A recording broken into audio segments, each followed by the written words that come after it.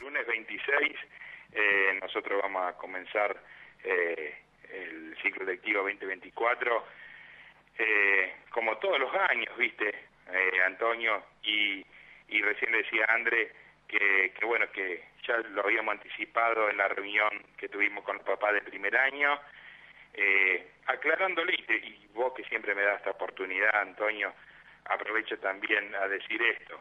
Eh, nosotros le decíamos a los papás que no hacemos paro, me refiero sin, sin dar clases, eh, por una cuestión simple de no partido político, porque siempre con que el color político estuvo en la provincia, nosotros siempre comenzamos las clases igual, cuando había medida de fuerza, eh, por el hecho de que no nos alcanza, es verdad, a nosotros los docentes, por una cuestión salarial, es verdad, pero tampoco le alcanzan a los papás que invierten muchísimo en comprar útiles, cuadernillos, libros, etcétera, para poder venir a la escuela, ¿viste? Y, y, aprender. Estamos todos en la misma. Estamos todos en la misma, exactamente. Estamos todos en la misma y creo que lo más perjudicial que se puede llegar a hacer para agregar algo más a todo, como decís vos, Antonio, a todas las cosas que están mal, es que el alumno no tenga la posibilidad de aprender, porque no todos los alumnos nacen con una situación económica cómoda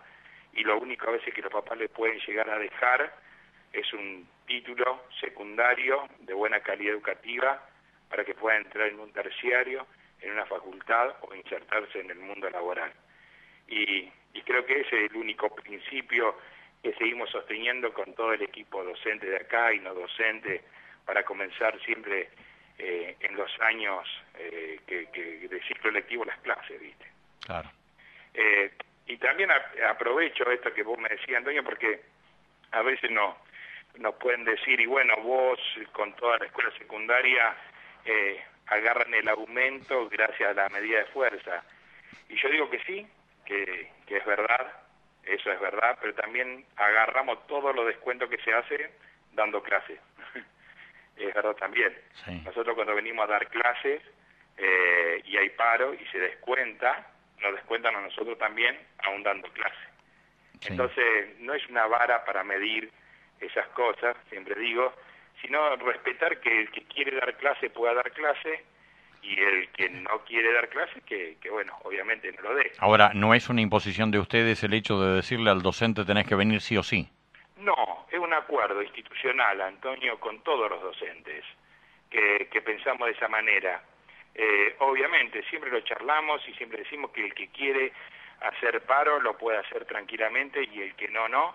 Pero, sinceramente, como cabeza de la institución, eh, doy mi manera de pensar, de que creo que es la manera de protestar, eh, peleando las paritarias donde se tienen que pelear, los que quieren hacer las medidas de fuerza sin dar clase que también libremente lo puedan hacer, pero también el que quiere venir a dar clase tenga la libertad de poder dar clase. Y, y bueno, siempre eso se pone en, en, charla con todo el equipo docente y no docente, y, y siempre la idea es comenzar las clases, dar clase con los alumnos, porque te repito, eh, los más perjudicados son en primer lugar los alumnos, Acá, a veces en el pueblo, a lo mejor no tanto, pero en las grandes ciudades sí, a los papás se les hace una gran complejidad.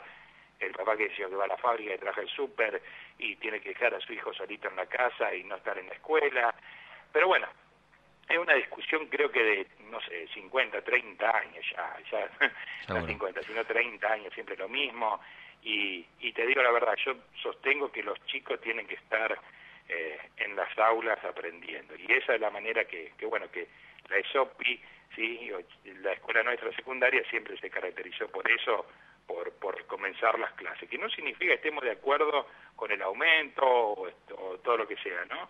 Pero, pero la manera creo que mejor de, de protestar para mí es con los alumnos dentro de la escuela. Con los docentes y los alumnos en las aulas. Sí, sí, sí, sí, sí. Por eso el lunes 26 a las 7 y 20 se arranca el ciclo lectivo 2024 con todos los alumnos en la escuela y con todos los docentes también.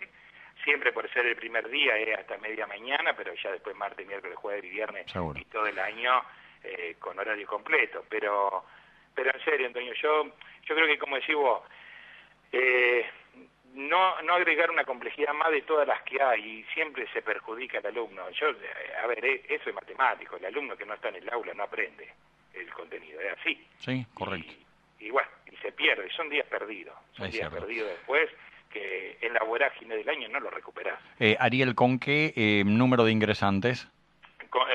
¿De primer año, Antonio? Sí. Sí, el número de ingresantes de primer año llegamos en, en total, son 99 un número hermoso. O sea, a ver, siempre decimos, ojalá podamos tener más divisiones para trabajar más cómodo, pero bueno, es lo que hay, se trabaja con, con grupos de 33. Pero es un número formidable, ¿eh?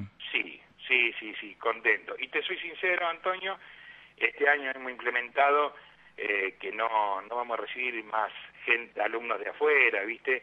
De Caña Rosquín, de que San Jorge, de, la, de, de toda la zona, por el hecho que la matrícula nuestra va creciendo año tras año con los alumnos de acá de Carlos Pellegrini. ¿Pero tenían, tenían interés, por ejemplo, de chicos de afuera? Sí, muchísimo. ¿Sí? Muchísimo, sí, sí.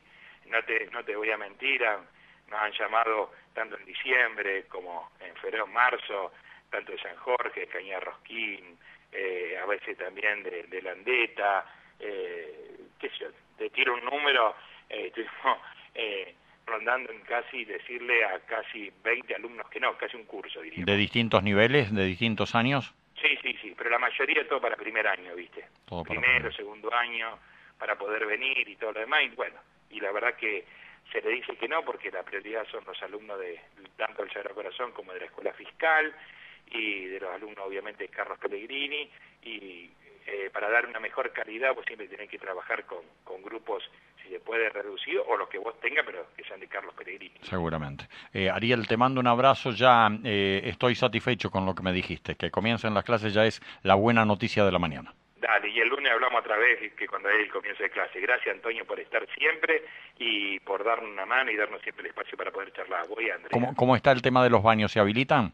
Se habilitan el mismo día lunes, Antonio, ahí que con todo el papá adelante, eh, viste, lo, vamos a inaugurar ese día, sin acto, sin nada, nombrándolo nomás, pero ya te voy a mandar el día lunes, obviamente, eh, alguna imagen y todo lo demás, y también los números finales de la obra.